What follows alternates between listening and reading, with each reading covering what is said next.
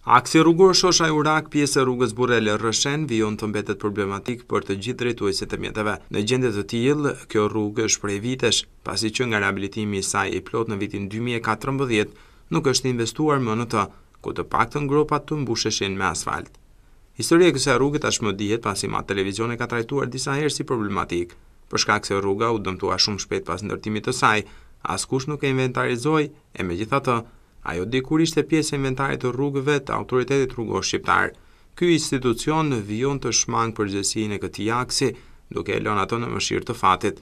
Kjo ishte e vetmja rrugë në qarkun Dibër ku pas reformës administrative territoriale të vitit dy mijë e pesëmbëdhjetë nuk iu dorëzua pushtetit vendor, pasi është pjesë e një aksi nacional e si i tillë duhet të mirëmbahet nga ARSH, ashtu siç bën me rrugët Burrel-Komsi e Lapidari-Zenisht-Lis.